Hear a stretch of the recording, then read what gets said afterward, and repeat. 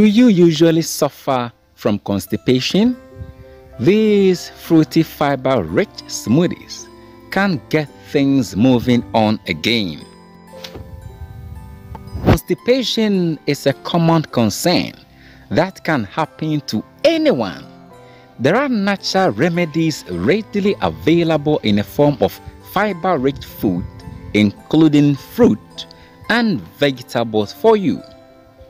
These wholesome ingredients not only help relieve constipation, but also offer a myriad of health benefits for you and your family. And what better way to incorporate them into your diet than by blending them into delicious and refreshing smoothies? Fresh out all the waste and other matters residing in your colon to alleviate constipation. With the aid of this potent and effective recipe. To begin, prepare a nourishing carrot juice by cutting fresh carrots into small pieces and blending them thoroughly with water until a smooth consistency is achieved.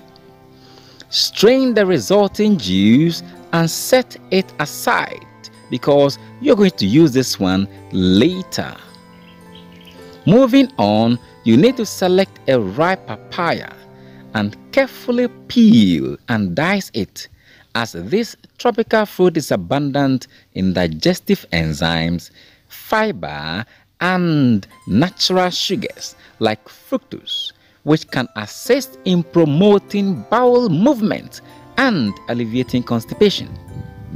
Additionally, including bananas or plantains in this recipe can further aid in regulating your digestion for you. Thanks to their rich fiber content and astringent properties, a very good one for you. Combine the blended carrot juice with the freshly prepared papaya and banana or plantain in the blender. Just combine them nicely, ensuring they are well incorporated. Blend the ingredients together until a smooth and harmonious mixture is formed. Nice juice for you.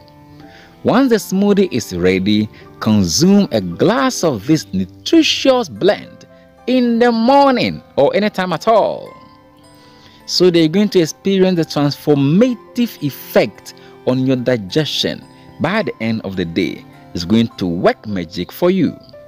Feel free to share your feedback on this recipe in the comment section below. Thanks for watching.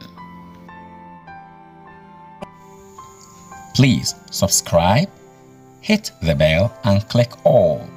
Then like our videos and share.